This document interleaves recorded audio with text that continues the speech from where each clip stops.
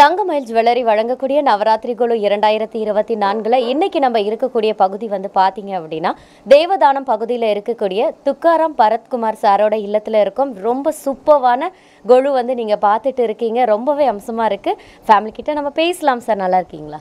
நல்லா இருக்கேன். மேம் உங்க பேர் சொல்லுங்க. என் பேர் கிருத்திகா. உங்க பேர்? பத்மாவதி. உங்க பேர் சொல்லுங்க. கங்கோத்ரி. அபிஷேக். சார் உங்க name. ஓகே.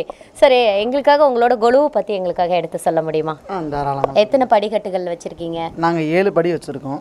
வருஷா வருஷம் எப்பயுமே ஒவ்வொரு தீம் வைப்போம் கான்செப்ட் வைப்போம்.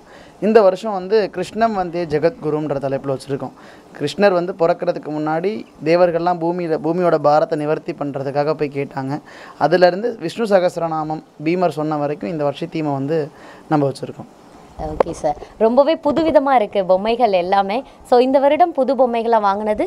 இந்த வருஷம் நிறைய வாங்கியிருக்கோம். நிறைய கிருஷ்ணர்கள் வாங்கி கிருஷ்ணர் வாங்கியிருக்கோம். அப்புறம் இந்த வாட்டி ராதையும் கண்ணனும் வச்சுருக்கோம். கண்ணன் வந்து. கண்ணன் வந்து ராதையோட ஜடையை பிடிச்சி இழுக்கிற மாதிரி அலங்க அது புதுசாக வச்சுருக்கோம்.